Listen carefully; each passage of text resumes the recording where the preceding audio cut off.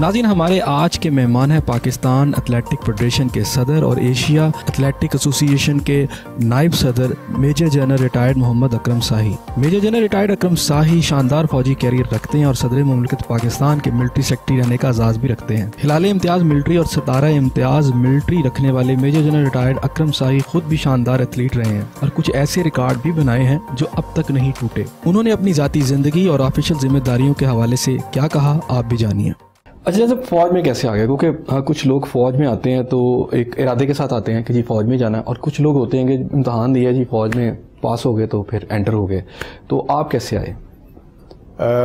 یہ ایسن صاحب بڑا ایک فنڈامنٹل سا کوشچن آپ نے کیا۔ لیکن بڑا ریلیونٹ کوشچن ہے کہ جی آپ نے ایک اپنی زندگی کے لیے ایک پروفیشن چنا تو کیوں چنا؟ کیسے چنا؟ میں اس کو یوں دیکھتا ہوں کہ یہ ایک ڈیسٹنی ہے انسان کی۔ پتہ نہیں ہوتا بندہ سمجھتا کہ فیصلہ میں خود کر رہا ہوں۔ ایکچولی فیصلہ کہیں اوپر ہو چکا ہوتا ہے۔ آپ نے اس کو فالو کرنا ہوتا ہے اور وہ آپ کے ذہن دماغ میں آ جاتا ہے آپ کی سوچ میں آ جاتا ہے کہ میں نے یہ کرنا ہے۔ تو میرے خیال میں یہ ڈیسٹنی تھی کہ میں نے اس ملک کی خدمت کرنی تھی فوج میں آ کے۔ اور الحمدللہ میں اگر دوبارہ بھی مجھے چانس ملا تو میں پھر فوج میں ہی جاؤں گا۔ اچھا شاعر مشترک علامہ محمد اقبال نے کہا تھا آپ نے تو ڈسنی کی بات کی لیکن وہ کہتے ہیں کہ عمل سے زندگی بنتی ہے جنت بھی جہنم بھی۔ یہ خاکی اپنی فطرت میں نہ نوری ہے نہ ناری۔ تو یعنی آپ جو عمل کرتے ہیں پھر اس کا آتا ہے۔ ڈیسٹنی شاید بنتی بھی آپ کے عمل سے ہے۔ صحیح بات ہے۔ یعنی پہلے تو جیسے میں نے کہا کہ ڈیسٹنی چونکہ آپ کی ہے اللہ تعالیٰ کو تو پتہ ہے کہ ہر انسان نے کیا کرنا ہے۔ اور اس کے مطابق آپ کی سوچ بنتی ہے۔ سوچ اللہ تعالیٰ نے انسان پہ چھوڑ دیا کہ آپ کے لیے دونوں راستے ہیں اچھائی ہے برائی ہے۔ آپ چنیں اس کی آزادی ہے انسان کو۔ تو وہ سوچ جو آپ کی ہے وہ اس طرف کو اگر آپ بھلائی کی طرف جانا چاہتے ہیں تو جو آپ سوچیں گے آپ اس کے مطابق فیصلہ اکارڈنگلی جب آپ سے سوال کیا جیسے آپ نے جی۔ کہا کہ جب ہم سوال کرتے تھے تو اس طرح کے جواب آتے تھے۔ تو جب آپ سے یہ سوال کیا گیا تو آپ کا جواب کیا تھا؟ جب مجھ سے یہ پوچھا گیا، تو اس وقت جیسے میں نے کہا، آپ کی عمر کیا ہوتی ہے؟ اٹھارہ سال، ساڑھے اٹھارہ سال۔ تو اس وقت کوئی بہت بندہ ویژنری نہیں ہوتا۔ مطلب it has to be one must admit کہ وہ ایک لڑکپن، ایک جوانی ہوتی ہے۔ تو اس میں تو ظاہر ہے ہر کسی کا، میں کہتا ہوں کہ ایک سٹینڈرڈ جواب یہی ہوتا ہے کہ میں اس ملک کی خدمت کرنا چاہ رہا ہوں۔ اور میں یہ سمجھتا ہوں کہ فوج سے بہتر اور کوئی پروفیشن نہیں ہے جس میں آپ اپنے ملک کی خدمت کر سکتے ہیں۔ اور بعد میں میں آپ کو کہوں کہ اتنے سارے ایکسپیرینس کے بعد یہ میں جیسے میں نے پہلے بھی کہا کہ میں اگر دوبارہ بھی سے بارہ بھی مجھے چانس ملے to choose a profession in my life تو میں آرمی کو ہی چنوں گا کیونکہ میں سمجھتا ہوں کہ اس سے بہتر کوئی اور پروفیشن نہیں ہے جس میں جس طرح سے آپ اپنے ملک کی خدمت کر سکتے ہیں۔ اچھا یہ تو ہوا کہ اگر آپ کو سیکنڈ آپشن ملے یا تھرڈ آپشن ملے جی۔ جو پہلا آپشن آپ کو ملا آر یو سیٹسفائڈ کہ جو آپ سرو کرنا چاہتے تھے جو آپ نے سوچا تھا جو آپ کے ذہن میں تھا وہ آپ نے پورا کر لیا؟ یا کہیں لگتا ہے کہ نہیں یار وہ چیزیں رہ گئیں ایک چیز یہ رہ گئی ایک وہ چیز رہ گئی اچھا وہاں موقع ملتا تو ہم یہ کر لیتے یہاں کمی رہ گئی۔ الحمدللہ میں سمجھتا ہوں کہ میں جو اگر دوبارہ سے وہی بات ہے کہ پھر سے بھی شروع کروں تو میں شاید اس سے زیادہ کچھ نہ کر سکوں جو میں نے کیا۔ میں جہاں پہ جو کرنا چاہتا تھا اللہ تعالیٰ نے مجھے ہمت دی سوچ دی توفیق دی اور میں نے وہ کیا۔ اور میں بہت سیٹسفائیڈ ہوں کہ جو کچھ میں نے کیا ہے اس ملک کی خاطر فوج میں ہوتے ہوئے اس سے بہتر شاید میں دوبارہ بھی نہ کر سکوں۔ میں نے اپنی اچھا آپ بلونگ کہاں سے کرتے ہیں؟ میں فیصل آباد سے میرا تعلق۔ فیصل آباد سے۔ اور فیملی آپ کی فوج میں تھی پہلے سے؟ میرے بھائی بڑے ایک آرمی میں تھے اور وہ بھی ایک مطلب میرا فوج کی طرف رجحان کی ایک وجہ یعنی سورس آف انسپریشن آپ کے لیے وہ تھے؟ سورس آف انسپریشن بھی آپ سمجھیں کہ بڑے بھائی تھے جو آپ کی ایک رسپیکٹ ہوتی ہے بڑوں کے لیے اور ماشاءاللہ جس طرح سے وہ عزت احترام کی سروس کر رہے تھے تو وہ بھی ایک میرے لیے انسپریشن تھی ٹو جوائن آرم اچھا آپ ملٹری سیکٹری ٹو پریزیڈنٹ بھی رہے رفیق تارا صاحب کے دور میں جی۔ اور آپ ڈفرینٹ آپ نے کمانڈز بھی کی مختلف جگہ پر۔ میں آپ سے بات کروں کہ اس پوری سروس کے دوران کون کون سی ایسی جگہ تھی جہاں آپ کو کام کرنے کا سب سے زیادہ مزہ بھی آیا اچھا بھی لگا، اور آپ نے جو آپ کی پرفارمنس تھی، آپ نے وہ پہلے سے زیادہ دی؟ ویسے تو فوج میں ہماری چونکہ مختلف شعبے ہیں، آپ فیلڈ کی سروس کرتے ہیں، آپ کہیں سٹاف پہ ہوتے ہیں، آپ کہیں انسٹرکشنل جابز پہ ہوتے ہیں۔ کمانڈ ہمارے ہاں تقریباً سمجھیں میجر سے ہی ایک کمانڈ چھوٹی شروع ہو جاتی ہے۔ لیفٹیننٹ کرنل سے ایکچول کمانڈ شروع ہوتی ہے جہاں پہ آپ انڈیپینڈنٹلی خود سے کچھ فیصلے بھی کرتے ہیں ود ان پیرامیٹر جو آپ کو اوپر سے لے ڈاؤن ہوتے ہیں۔ اور آپ کو اتنی لبرٹی اور انڈیپینڈنس ہوتی ہے کہ آپ کے نیچے وہ اس وقت کوئی سات سو لوگ ہوتے ہیں آپ ان کا ان کے فیصلے ان کے آپریشنل امپلائمنٹ اور سارا۔ آپ کے پاس ٹوٹل لبرٹی ہوتی ہے۔ اور اس کے بعد سے پھر ظاہر ہے آپ brigade commander G O C corps commander آپ کے جوں جوں آپ اوپر جاتے ہیں، آپ کی رسپانسبلٹی بڑھتی جاتی ہے اور آپ کی اتھارٹی بڑھتی جاتی ہے، اس کے مطابق آپ جو ہے وہ ڈسیشن لیتے ہیں۔ مجھے جو سب سے اچھا لگا جو کہ ہمارے آرمی میں ہے، بھی یہی کہیں اور بھی کسی آرمی آفسر سے آپ بات کریں گے تو آپ کو یہی بتائیں گے۔ ہمارے ہاں جو پروفیشنلی کمپٹنٹ آفسرز ہوتے ہیں، جو جنرلی آپ کسی جنرل سے بات کریں گے تو انویریبلی وہ انسٹرکشنل اپوائنٹمنٹس پہ ضرور رہا ہوگا۔ فار ایگزامپل ہمارا اسٹاف کالج کوئٹہ جو ہے، اس میں لیفٹیننٹ کرنل جو انسٹرکٹرز ہوتے ہیں، وہ سب کے سب لائن اپ ہوتے ہیں to be the general of this army unless something goes wrong کوئی بیمار ہو گیا، کچھ ایسی چیز ہو گئی۔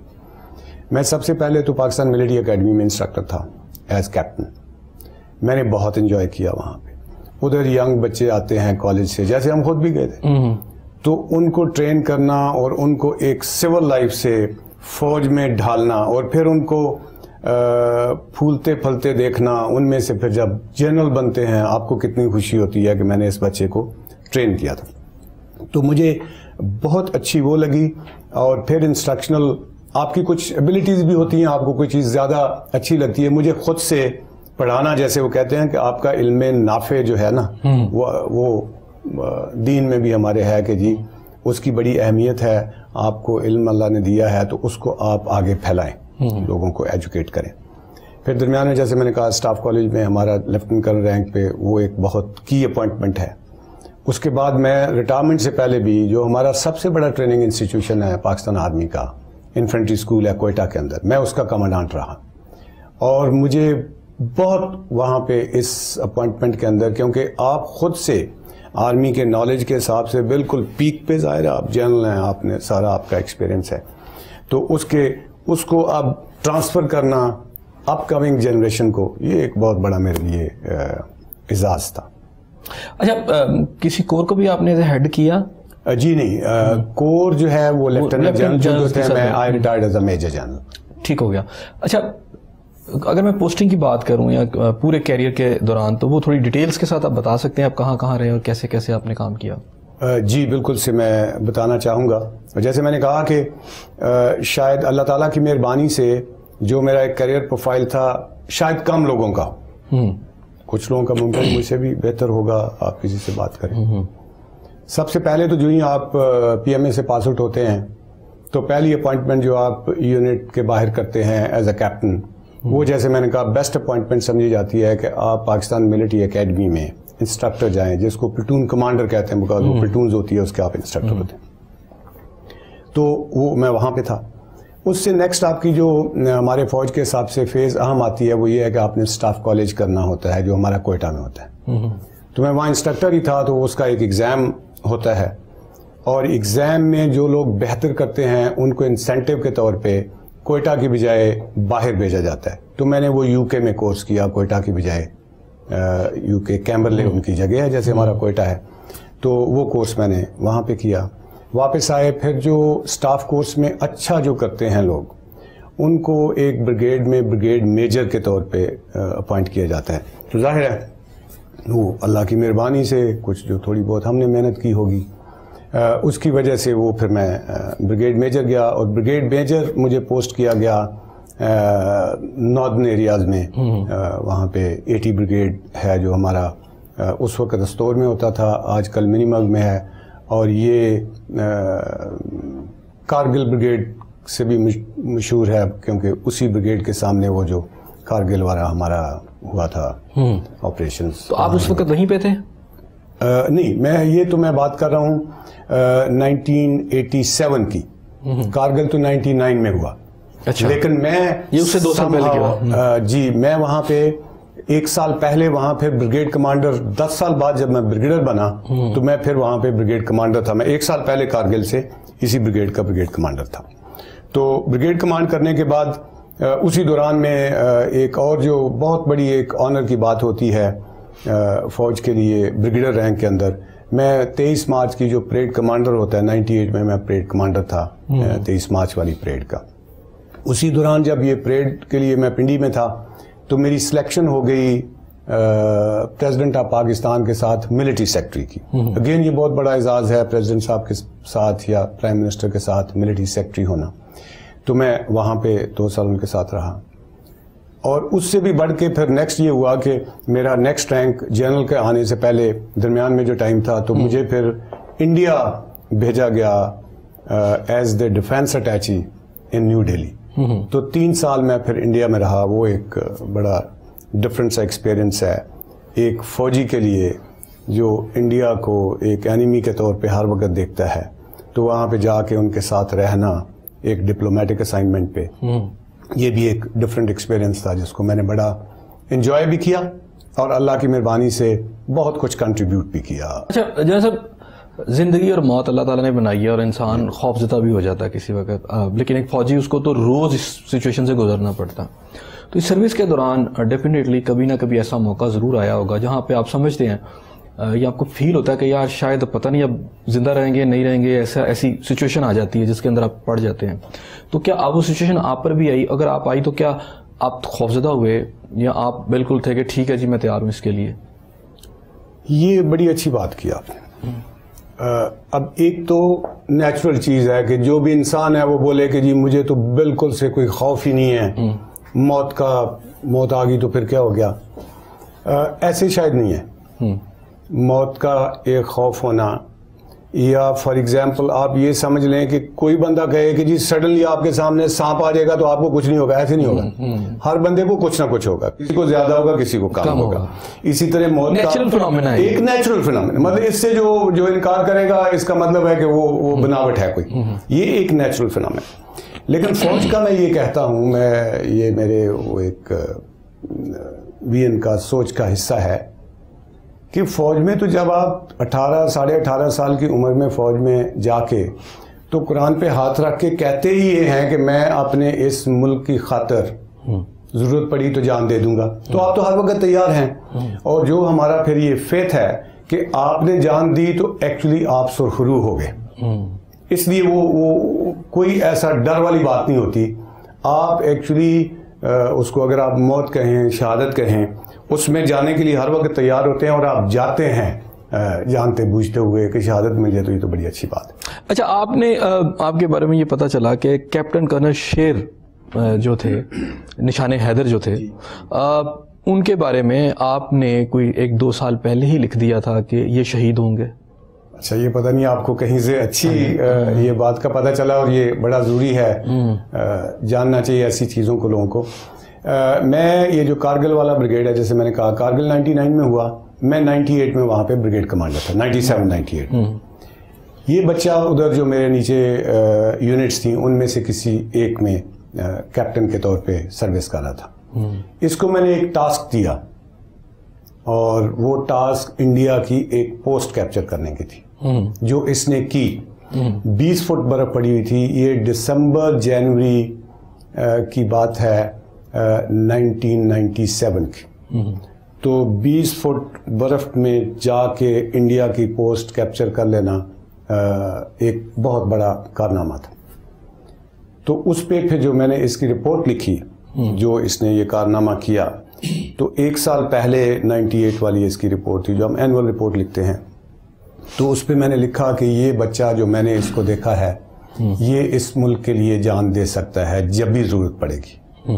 تو نائنٹی نائن کارگل اس وقت تو کسی کو مجھے تو نہیں پتا تھا کہ کارگل ہونے والا کسی کو بھی نہیں پتا تھا۔ کارگل ہو گیا یہ گیا اور اس نے یہ پروو کر دیا۔ اور میں آپ کو یہ بتاؤں کہ جب اس کا فیصلہ ہو رہا تھا کہ نشان حیدر تو یہ دو لوگ ایک اور آفسر تھا یہ دو کا کنسیڈر ہو رہا تھا کہ جی اس کو دینا ہے کہ اس کو دینا ہے۔ تو وہاں پہ پروسیجر کے مطابق ہمارا یہ جو بورڈ بیٹھتا ہے جو یہ فیصلہ کرتے ہیں ایوارڈز والا اس میں سی جی ایس یہ جو میں نے کہا چیف آف جنرل سٹاف جو ہوتے ہیں، وہ سینئر موسٹ ہوتے ہیں۔ ان کے ساتھ میں اے جی ایک ایڈجوٹنٹ جنرل ہماری اپوائنٹمنٹ ہے جی ایچ کیو کی، وہ ہوتے ہیں۔ وہ تیسرے ایم ایس ملٹری سیکٹری جو ہماری پوسٹنگ پروموشن کے ساتھ، یہ تین لوگوں کا بورڈ اس زمانے میں تھا، اب شاید کچھ چینج ہو گئی ہو۔ یہ ریکمینڈ کر کے آرمی چیف کے پاس بھیجتے ہیں وہ تو یہ جو بورڈ جب بیٹھا تو سارے کاغذ دیکھتے ہیں، ہمارے تو پہلے دن سے جب آپ پی ایم اے سے جاتے ہیں تو پہلے دن سے لے کے آخری دن تک کی کاروائی وہاں پہ پڑی ہوئی ہے۔ ایک آخرت کے لیے ہمارے فرشتے نوٹ کر رہے ہیں اور یہاں کے لیے ہمارے جی ایچ کیو والے لوگ جو ہیں وہ نوٹ کر رہے ہیں دنیاوی لحاظ سے۔ تو وہ کسی نے کہا کہ جی یہ جو بچہ ہے دو کو ہم کمپیئر کر رہے ہیں کیپٹن کرنل شیر کو تو ایک سال پہلے ہی اس کا بریگیڈ کمانڈر کہہ رہا ہے کہ جی یہ نشان حیدر یہ جان دے دے گا تو یہ تو پروون بہادر آدمی ہے اور پیٹریوٹک ہے اور پاکستان کے لیے جان دینے کے لیے۔ تو اس پہ ڈیسائیڈ ہو گیا۔ یعنی وہ آپ کی جو رپورٹ تھی اس میں پھر اس نے ایڈیشن کیا۔ جی جی وہ ایڈیشن کیا اور یہ ڈیسائیڈ ہو گیا اور تینوں لوگ ماشاءاللہ اس وقت بھی دو حیات ہیں۔ ایک جنرل صاحب کی ڈیتھ ہو گئی ہے جو ایم ایس تھے اس وقت جو سی جی ایس تھے۔ جنرل عزیز جو چیئرمین جوائنٹ چیف ریٹائر ہوئے۔ ہیں ماشاءاللہ زندہ ہیں اور وہ ہماری یونٹ کے بھی ہیں صحت مند ہیں۔ انہوں نے اور جو اے جی تھے اس وقت یہ جنرل امجد شعیب صاحب جو آتے ہیں ٹی وی پہ بھی یہ اس وقت اے جی تھے یہ اور اس وقت کیا تینوں نے مجھے کال کر کے یہ خود بتایا کہ جی آپ نے ایک سال پہلے یہ جو رپورٹ لکھی تھی یہ اس بچے کے نشان حیدر ڈیسائیڈ کرنے میں ایک بہت بڑا ایلیمنٹ رول پلے کیا۔ اور وہ جو رپورٹ ہے میری وہ کوئی مطلب آدھے پیج کی ہوتی ہے زیادہ سے زیادہ۔ وہ جی ایچ کیو میں اس وقت ماڈل کے طور پہ لگی ہوئی ہے کہ ایک سال پہلے ایک بریگیڈر ایک کپتان کے بارے میں کیا کہہ رہا ہے جو سال بعد اسی طرح پروو ہوا ہے۔ ناظرین، یہاں بریک لیتے ہیں اور جب میں بریک کے بعد واپس آؤں گا تو جنرل صاحب سے مزید بات کریں گے اور بات کریں گے ایتھلیٹکس کی۔ پاکستان کے اندر چونکہ اس کے ہیڈ بھی ہیں اور ایک تو پاکستانی ایتھلیٹکس ایک اولمپکس کی کیا سچویشن ہے اور ایشین ایتھلیٹک کے چونکہ یہ وائس پریزیڈنٹ بھی ہیں تو اس حوالے سے بھی کچھ بات کریں گے۔ ہمارے ساتھ رہیے گا۔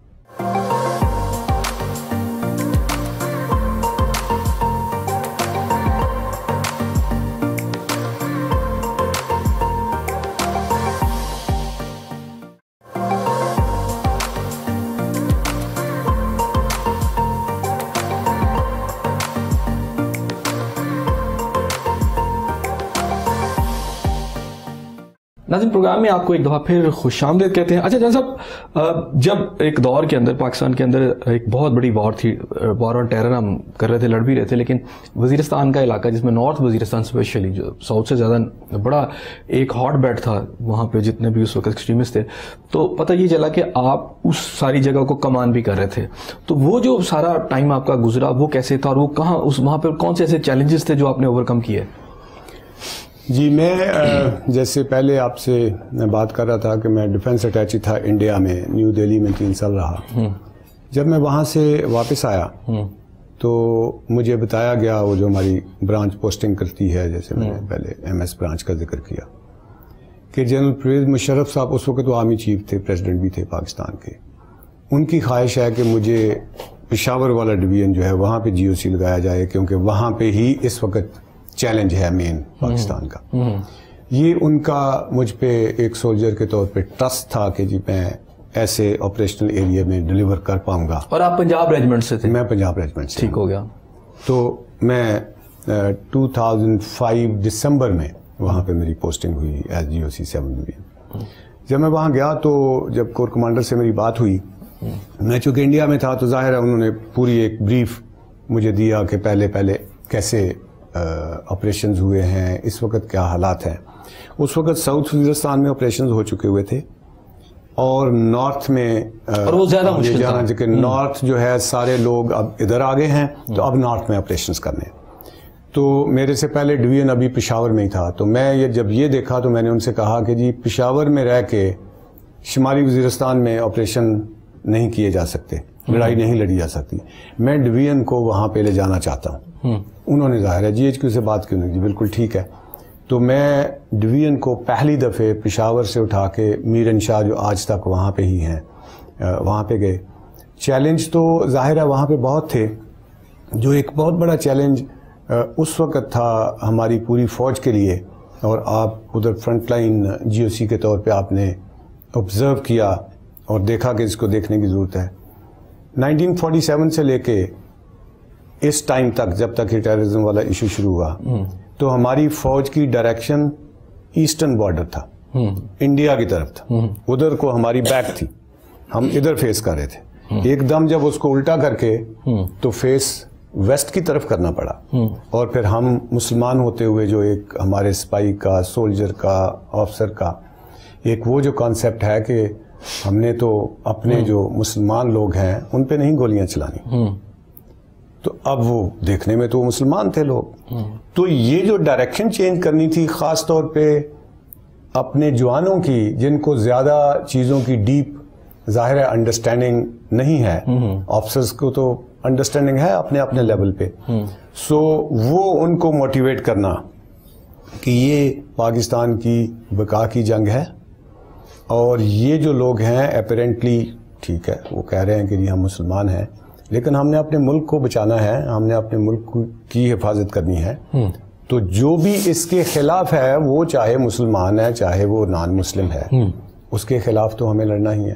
تو ایک میں سمجھتا ہوں کہ بہت بڑا چیلنج تھا جو کہ لوگوں کو بڑا آسانی سے سمجھ لگ گئی کہ جی وہاں پہ ہم کس مقصد کے لیے۔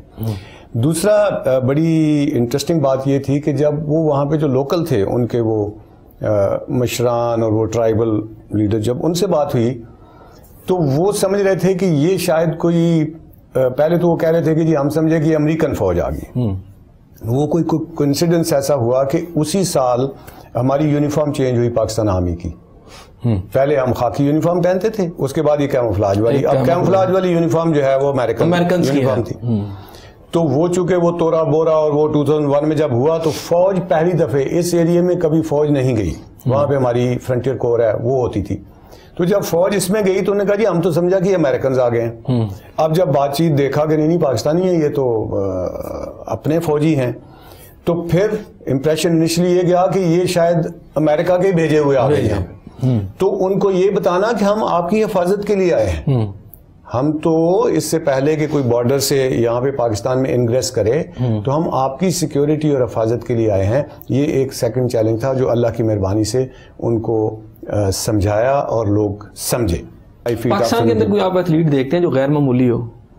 اس وقت جی اسپیشلی اللہ کی مہربانی سے اور میری ایفرٹ سے ہمارا ایک بچہ جیولن تھرو میں بہت اچھی کارکردگی کر رہا ہے۔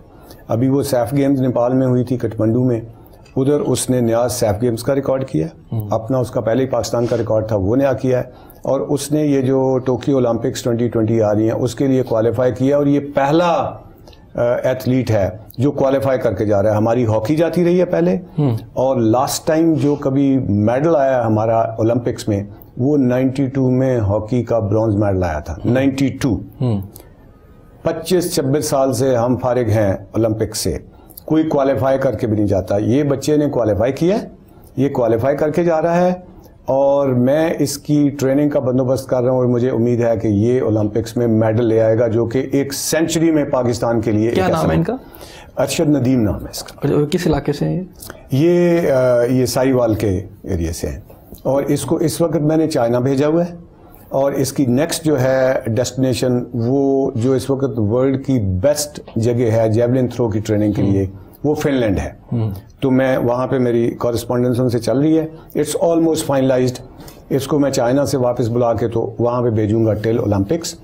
میں نے گورنمنٹ کو بھی کہا ہے اور آپ کے اس چینل کے حوالے سے میں پھر سے ایک بار پرائم منسٹر صاحب کو کہنا چاہتا ہوں۔ میں منسٹر صاحبہ جو منسٹر ہیں آئی پی سی کی اور سپورٹس کی، فہمیدہ مرزا صاحب، میں ان سے کہنا چاہتا ہوں۔ کہ یہ ایک میں کہہ رہا ہوں ایک صدی میں پاکستان کو ایک چانس مل رہا ہے جہاں پہ ہم اولمپکس میں میڈل لے کے آئیں گے۔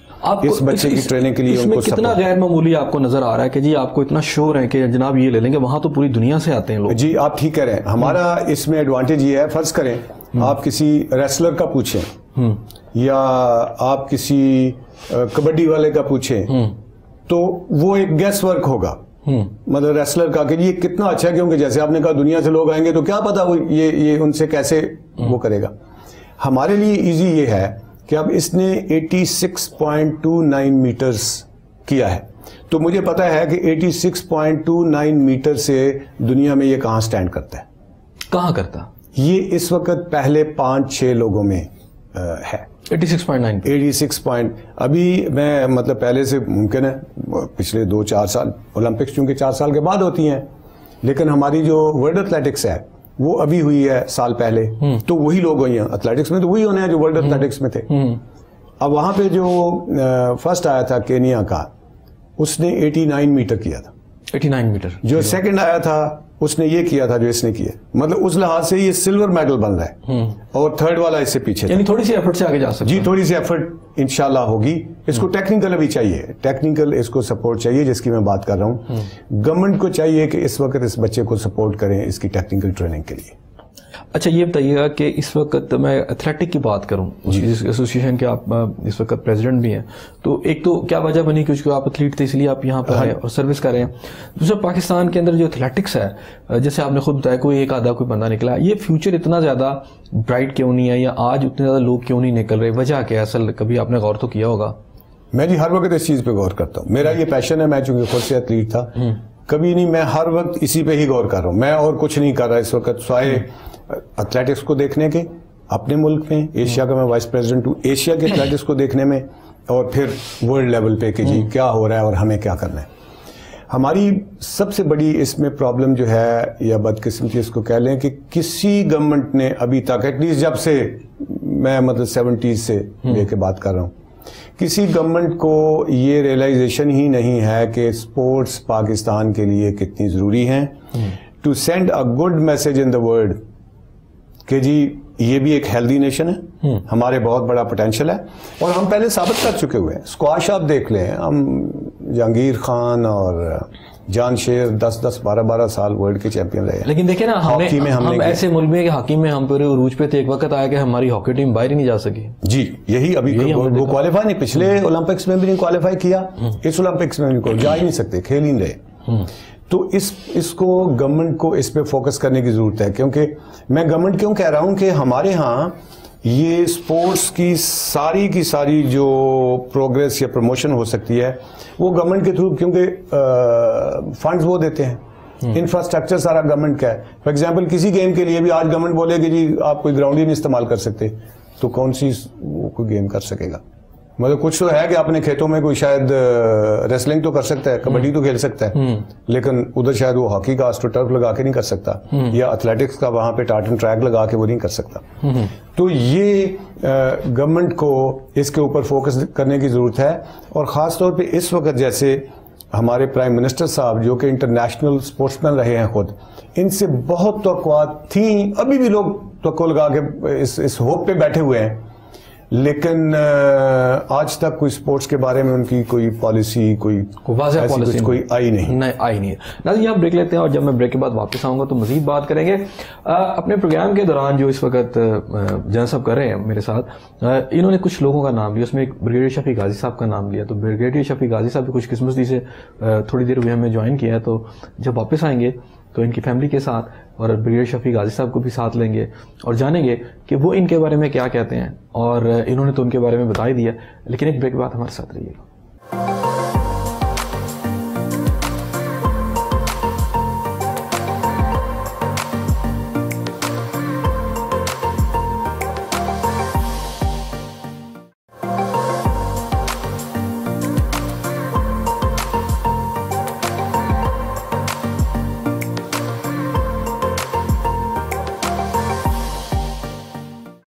پروگرام میں آپ کو ایک دفعہ پھر خوش آمدید کہتے ہیں اس وقت ہم چائے کی ٹیبل پر بیٹھے ہیں اور میرے ساتھ موجود ہیں بریگیڈیئر شفیع غازی صاحب بھی جن کے بارے میں ذکر کیا کہ ایک ایسے بریلینٹ آفیسر ہیں جنہوں نے اس وقت میجر جنرل جو اکرم سائی صاحب ہیں، ان کے اندر کام کیا اور وہ ان کے بڑے متقد بھی ہیں اور میرے، میں نے جو پچھلا پروگرام کیا تھا بریڈ صاحب کے ساتھ، تو اس کے اندر انہوں نے ذکر کیا تھا کہ ایک بہت ہی ایک بریڈ قسم کے جنرل جو ہیں جن کے ساتھ انہوں نے سرو کیا اپرائٹ مین وہ اکرم سائی کا سائی صاحب کا ذکر کیا۔ اور اس وقت اکرم سائی صاحب کے ساتھ ان کے جو برخودار ہیں عثمان صاحب برسٹر عثمان جو ہیں وہ بھی موجود ہیں۔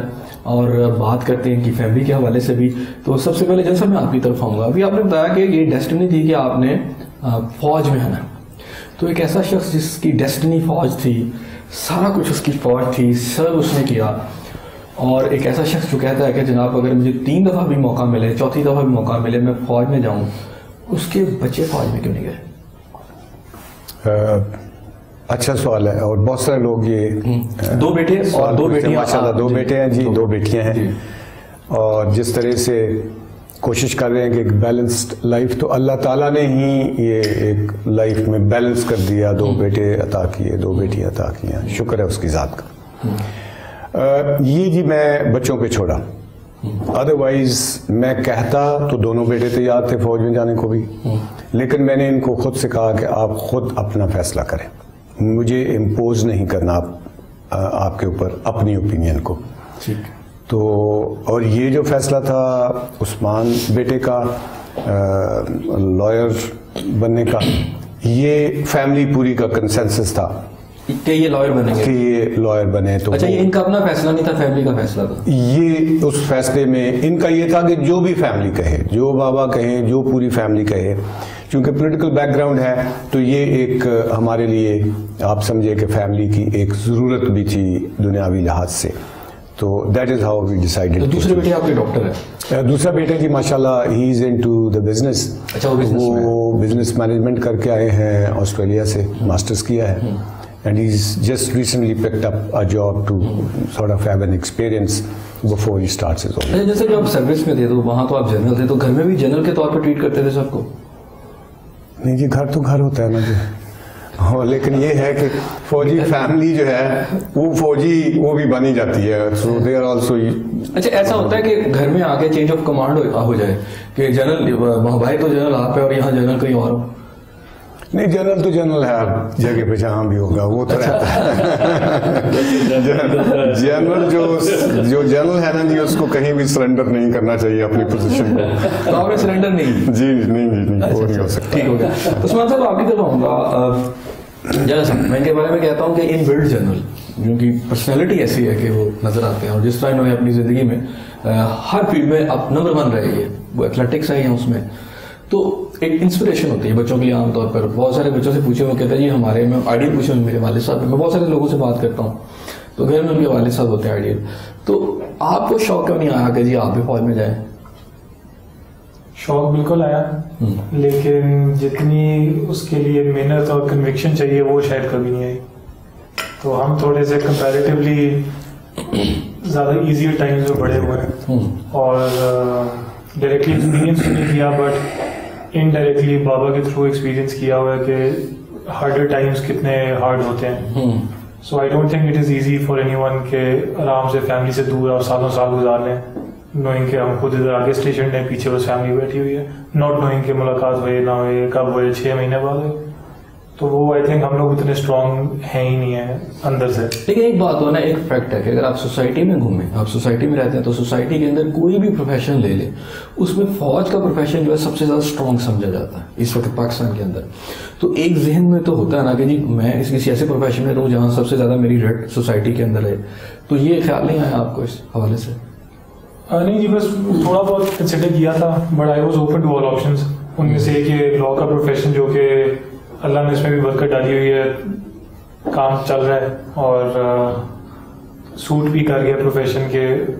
ایک چیز ہے جس کو ڈے بائی ڈے کر کے اس سے بوریت نہیں ہو رہی ہے۔ بریڈ صاحب کی طرف آؤں گا۔ آپ نے ان کے نیچے سرو کیا۔ کیسا پایا ان کو؟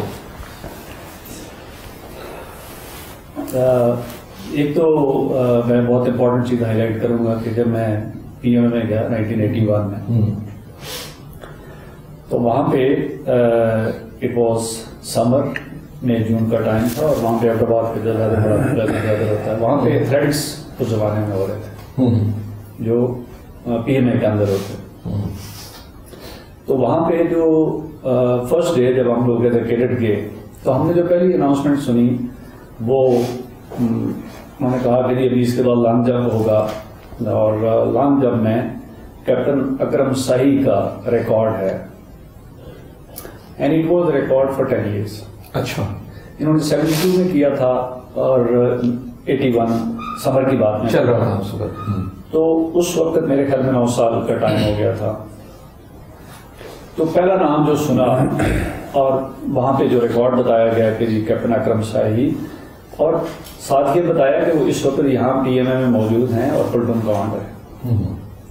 تو ایک بڑی انسپائرنگ بات تھی کہ جی ایک بندہ جس کا ریکارڈ ہے پچھلے دس سال سے پی ایم اے کے اندر اور وہ یہاں پہ انسٹرکٹر بھی ہے پٹون کمانڈر ہے یہاں پہ۔ اور جیسے جن صاحب نے خود بھی اپنے بات چیت کرتے ہوئے آپ کو بتایا کہ وہاں پہ انسٹرکٹر تھے جو کہ ایک بڑی پرائڈ اپارٹمنٹ ہے for a captain for a major. Young cadets کو ٹرین کرنا۔ وہاں پہ جب میں نے سنا تو میرے دل میں ایک خواہش یہ تھی کہ دیکھا جائے کہ وہ کون ہے۔ تو ہم بہت سارے کیڈٹس جو ہے فرینکلی پلٹون کمانڈر سے وہاں بڑا ڈر لگتا ہے جو اسٹے اوے جیسے انہوں نے کہا نا کہ جنگ سے گھر میں بھی ذرا دور رہنا پڑتا ہے۔ بٹ وہاں پہ پلٹون کمانڈر سے تھوڑا سا دور رہتے ہیں۔ تو وی یوز ٹو فالو ہم دور دور سے کہ بھائی یہ کرنا ٹرم ہے جو جا رہا ہے first term second term and third term میرے خیال میں پھر سال کے بعد جب تھرڈ ہوئی تو پھر ان کا نام اسی طرح اناؤنس ہوا۔ اور پھر جب میں فائنل ٹرم میں تھا اور پاسنگ آؤٹ کے نزدیک ٹائم آ گیا اور اس وقت جب میں اپنا یہ مائنڈ بنا چکا تھا کہ میں ان کی یونٹ میں جاؤں گا۔ انہوں نے مجھے بلایا اور مجھے پوچھا کہ جی آپ یونٹ میں جانا چاہیں گے؟ اس کی بنیادی ریزن ایک تھی کہ میں وہاں پہ ایک ہائی میرٹ پہ وہاں پہ جو اپوائنٹمنٹس ہوتی ہیں ان میں سے تھا۔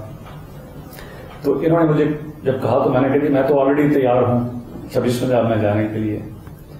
تو پھر انہوں نے ایز اے فرسٹ چوائس وہ وہاں سے ٹوئنٹی سکس پنجاب جو ہے، جو جن صاحب کی اپنی یونٹ تھی اس وقت اور ان کے بڑے بھائی اس وقت کمانڈ کر رہے تھے۔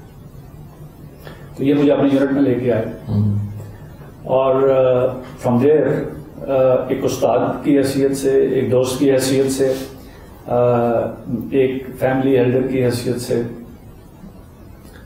اور پھر سب سے بڑی بات یہ ایک بڑے بھائی کی حیثیت سے uh, all along my life eighty two eighty three and out two thousand twenty یہ کوئی thirty four thirty five years کا جو ٹائم ہے not a day not a month not a year کہ جس میں ہماری انٹریکشن نہیں ہوتا، ایک دوسرے کو ملتے نہیں ہیں اور uh, پھر جو سیکنڈ جو بات میں آپ سے کرنا چاہوں گا وہ یہ کہ ایک تو وہ ایک امپیکٹ پرسنالٹی کا ایک سنا اور پھر اس کو پریکٹیکلی دیکھا کوئی tall smart handsome good looking آپ اگر جنرل ابھی دیکھیں۔ اور اس وقت اگر captain you can now visualize کہ کیا پرسنالٹی اس وقت تھی ینگ ایج کی۔ اینڈ ایئر ماشاء اللہ سملر پرسنالٹی ابھی بھی۔ تو اس یوتھ میں ایک وہ آپ کا امپیکٹ ہے اور پھر ریکارڈ کو لے کے آپ۔ اور پھر جب یونٹ میں گئے تو ہمارے لیے ایک بہت بڑا اسپیشلی جیسے انہوں نے پہلے جہاں نوشاد کی بات کی ویری اسمارٹ پرسنالٹی پھر اس کے بعد میں گیا اور اس کے بعد ایک دو افسر اور آئے۔ ہمارے لیے ایک بڑا چیلنج یہ تھا اپنی لائف کے اندر بھی کہ کیونکہ انہوں نے ہمیں سلیکٹ کر کے بھیجا یونٹ میں۔ تو ہم کوئی ایسا کام نہ کریں۔ کہ جس سے ان کو کوئی تانا دے یا ان کے بارے میں بات کرے کہ ان کی سلیکشن ٹھیک نہیں۔ یہ پریشر ایون نہ میں ابھی بھی فیل کرتا ہوں۔ اچھا یہ اسی جگہ۔ یہ بتائیں جزا اور سزا ہوتی ہے۔ ایک اچھے آفیسر کی سزا دیتے ہیں۔ جی کبھی سزا دی انہوں نے آپ؟ نہیں۔ سزا کا موقع ہی نہیں آیا کبھی۔ یہ آپ نے موقع فراہم نہیں کیا؟ پتہ نہیں میں تو یہ کہوں گا کہ ایک ٹائم ایسا تھا جب میں ان کے ڈائریکٹ انڈر کمانڈ یونٹ میں تھا۔ ہی واز کمانڈنگ افسر ناراض تو ہوئے ہوں گے میں کبھی کمانڈر تھا کبھی کبھی ناراض بھی ہو جاتے ہوں نہیں۔ کبھی نہیں۔ ہاں ایک ٹائم پہ ہمارا ایک کمپٹیشن تھا as a company commander he was commanding one company I was commanding another company تو ایک طرف فرینڈشپ دوستی اور ہماری جو محبت تھی وہ بالکل ایسی تھی جیسے آج آپ دیکھ ہمارا کمپٹیشن تھا۔ تو کمپٹیشن میں کوئی کسی جگہ پہ کمپنی کے جو کام چل رہے ہوتے ہیں، وہاں پہ کوئی۔ تو وہ، فوج میں ہر جگہ ہوتا ہے جیسے تو وہ کہیں کوئی ٹرکس کی کوئی بات تھی اس کی وجہ سے۔ اس میں یہ کوئی ایک آدھ دفعہ میرے ساتھ ناراض ہوئے اور پھر میں نے ان کو پھر منا لیا بہت۔ اچھے سے ناراض ہو کے پرسنالٹی کہتے ہیں نا جب بندے کو غصے میں دیکھو تو اس کی پرسنالٹی کا پتہ چلتا ہے۔ جب یہ ناراض ہو جاتے تھے تو پھر ایک وہ ویژولائزیشن ہے یا وہ پرسنالٹی ہے جو آپ ویسے ان کی دیکھ رہے تھے۔ اور ایک ناراضگی کی حالت more loving, more caring. Uh, ہمیشہ بہت محبت سے۔ یہ تو ہم لوگ تو بڑے خاص ان کے ان خاص و خاص لوگوں میں سے جن کو آپ ایک چھوٹا سا پودا آپ لگاتے ہیں دین یو سی کہ وہ بہت ٹال ہوتا ہے، پھر فروٹ دیتا ہے۔ ہم تو ان میں سے تھے، لیکن میں نے ان لوگوں کو بھی دیکھا جو ان کے ساتھ ایک دن بھی رہے ہوں۔ کیا ایک مہینہ جنہوں نے نوکری کی؟ میں نے اپنی آنکھوں کے سامنے ان کو بھی دیکھا کہ وہ فوج سے ریٹائر ہونے کے بعد بھی دے فال بیک ٹو ہم اور یہ لک آفٹر کرتے ہیں، اسی طرح جس طرح ہمیں لک آفٹر کر رہے ہیں کیا چیز ہے جو آپ کو ناپسند ہے؟ یا اریٹیٹ کرتی ہے۔ یہ کرتی تھی۔ آپ فوج کے حوالے سے کہہ رہے ہیں یا موت کے حوالے بھی اس کے بعد بھی عام طور پہ۔ میری نظر میں سب سے جو بڑی چیز ہے نا دنیاوی لحاظ سے بھی اور دینی لحاظ سے بھی وہ آپ کے کردار کی بات ہے۔ جدھر کہیں بھی میں نے یہ آبزرو کیا کہ کوئی کردار کی کمی ہے کسی بھی شخص میں وہ پسند نہیں کیا۔ اور اس پہ ریئیکٹ بھی کیا اس لحاظ سے، جیسے ہمارا دین بھی کہتا ہے کہ پہلے تو آپ کسی بھی برائی کو روکیں، ہاتھ سے روکنے کی کوشش کریں۔ لیکن اگر اس چیز کا احتمال ہو کہ جی وہ تو مزید خرابی ہو سکتی ہے، تو پھر آپ کم از کم زبان سے روکیں۔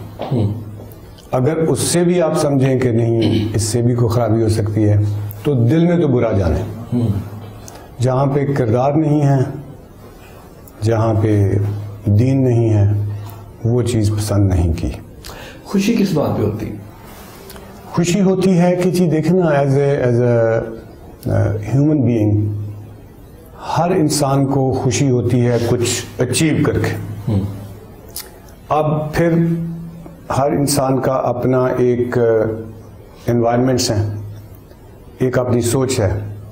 اس کے مطابق اب خوشی عام طور پہ اس کو لوگوں نے ڈفرینٹ طریقوں سے ڈیفائن کیا ہے کہ جی کیا خوشی ہے کیا کسی کے پاس پیسے آ جانا خوشی ہے کیا کسی کو کوئی بہت بڑا رینک رتبہ پوزیشن مل جانا خوشی ہے۔ ایک بہت بڑی خوشی یہ ہے کہ آپ کسی اور کو خوش کریں۔ آپ کی وجہ سے کوئی اور خوش ہو۔ میں تو اس کو سمجھتا ہوں کہ وہ بہت بڑی آپ کے لیے خوشی کی بات ہے۔ بڑی خوبصورت بات۔ کھانے پینے میں کیا پسند ہے جیسا؟ سب کچھ۔